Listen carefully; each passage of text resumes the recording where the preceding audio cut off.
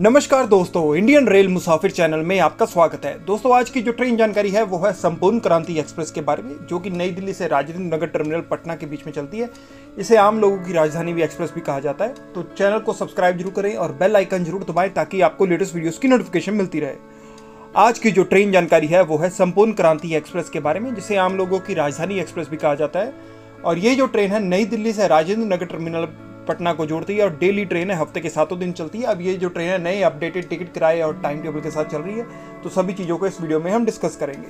संपूर्ण क्रांति एक्सप्रेस का जो ट्रेन नंबर है, वो है बारह ये नई दिल्ली से रोज़ाना चलती है और नई दिल्ली से राजेंद्र नगर टर्मिनल की जो दूरी है, तेरह घंटे पैंतालीस मिनट में कवर करती है और इसके तकरीबन छः स्टेशन हैं। एक हज़ार एक किलोमीटर का डिस्टेंस जो है कवर करती है। एवरेज स्पीड जो है, इस रूट पे वो है तिहत्तर kilometre per hour superfast type की ट्रेन है। ईस्ट सेंट्रल रेलवे डिवीज़न जो है, ऑपरेट करता है और एल एच बी कोचेस वाली ट्रेन है। वेब सेवन इंजन के साथ इसे चलाया जाता है।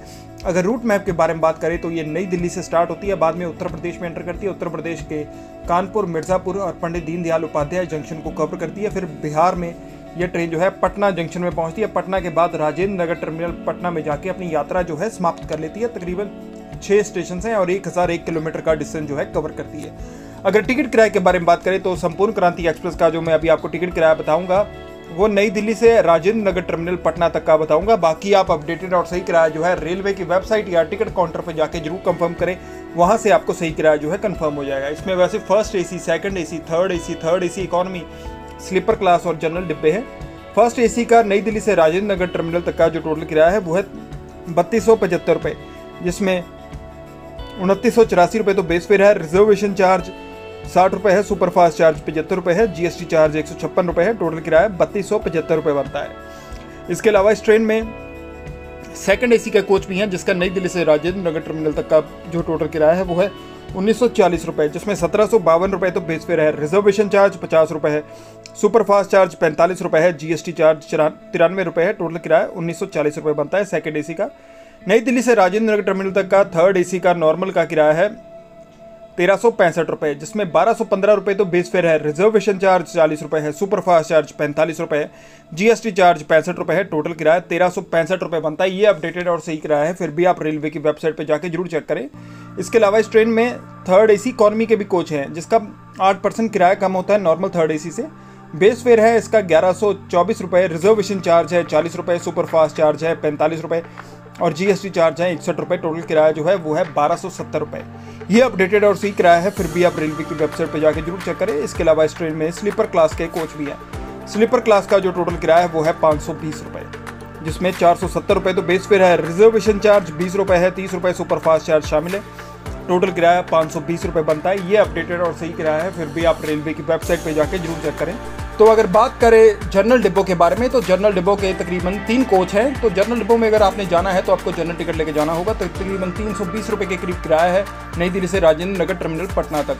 बाकी आप अपडेटेड और सही किराया जानने के लिए रेलवे की वेबसाइट या टिकट काउंटर से ज़रूर कंफर्म करें।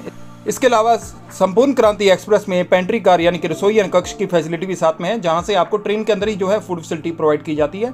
तो फ़ूड फैसिलिटी के जो चार्जेस आपकी टिकट में इंक्लूडेड नहीं होते, आपको ट्रेन के अंदर डायरेक्टली ये फ़ूड जो है खरीदना पड़ता है।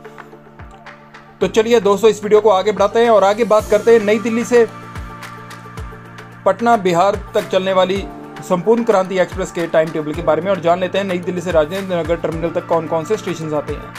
यह जो ट्रेन है, संपूर्ण क्रांति एक्सप्रेस, इसे आम लोगों की राजधानी एक्सप्रेस भी कहा जाता है, क्योंकि इसमें स्लीपर और जनरल डिब्बे भी हैं और राजधानी की तरह जाती है। बिल्कुल स्पीड और टाइम बहुत कम लेती है। नई दिल्ली से चलने की बात करें तो हर रोज शाम के पाँच बज के तीस मिनट पर ये सोलह नंबर प्लेटफॉर्म से रवाना होती है और तेरह घंटे पैंतालीस मिनट का समय लगाती है राजेंद्र नगर टर्मिनल पटना तक पहुँचने के लिए। जो दूसरा स्टेशन है, वो है कानपुर सेंट्रल उत्तर प्रदेश। यहाँ पर ट्रेन जो है, रात के दस बज के बाईस मिनट पर पहुँचती है और दस बज के तीस मिनट पर वहाँ से रवाना हो जाती है। इसका यहाँ पर आठ मिनट का स्टॉप है। चार नंबर प्लेटफॉर्म पे आके ट्रेन जो है, रुकती है और 440 किलोमीटर की दूरी जो है, यहाँ तक कवर कर चुकी होती है। और इसका स्टेशन कोड है सी एन बी इसके बाद ये ट्रेन जो है उत्तर प्रदेश के मिर्ज़ापुर रेलवे स्टेशन पे पहुँचती है। सुबह रात के एक बज के तरतालीस मिनट पे और एक बज के पैंतालीस मिनट पे वहाँ से रवाना हो जाती है। दो मिनट का स्टॉप है। दो नंबर प्लेटफॉर्म पे आके ट्रेन जो है रुकती है। डिब्रूगढ़ टाउन, न्यू दिल्ली, राजधानी एक्सप्रेस के साथ इसकी यहाँ पर डेली क्रॉसिंग होती है। इसके बाद संपूर्ण क्रांति एक्सप्रेस ट्रेन जो है वो पंडित दीनदयाल उपाध्याय जंक्शन में पहुँचती है। यहाँ पर ट्रेन जो है, रात के तीन बज के अठारह मिनट पर पहुँचती है और तीन बज के अट्ठाईस मिनट पर वहाँ से रवाना हो जाती है। दस मिनट का स्टॉप है। दो नंबर प्लेटफॉर्म पर आके ट्रेन जो है रुकती है। इसके बाद ये ट्रेन जो है उत्तर प्रदेश से बिहार स्टेट में एंटर करती है। बिहार के पहले और इस ट्रेन के सेकंड स्टेशन पटना जंक्शन में सुबह छः बज के पैंतीस मिनट पर पहुँचती है और छः बज के पैंतालीस मिनट पर वहाँ से रवाना हो जाती है। दस मिनट का स्टॉप है। दो या तीन नंबर प्लेटफॉर्म पर आके ट्रेन जो है रुकती है। हज़ार किलोमीटर के करीब जो है यात्रा यहाँ तक कवर कर चुकी होती है और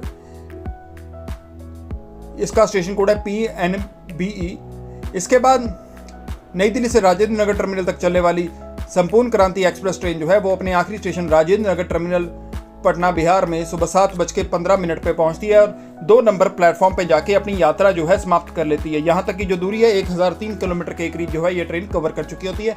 दोस्तों, इसी के साथ ये ट्रेन की वीडियो जो है समाप्त होती है। आशा करता हूँ आपको वीडियो पसंद आई हो। अगर आपको वीडियो पसंद आई है तो प्लीज़ कमेंट सेक्शन में ज़्यादा से ज़्यादा कमेंट करके बताएँ। अगर आप चाहते हैं कि आपकी कोई फेवरेट ट्रेन या किसी फेवरेट ट्रेन रूट पे मैं वीडियो बनाऊँ तो कमेंट करके ज़रूर बताएँ। मैं उस पर वीडियो बनाने की पूरी कोशिश करूँगा।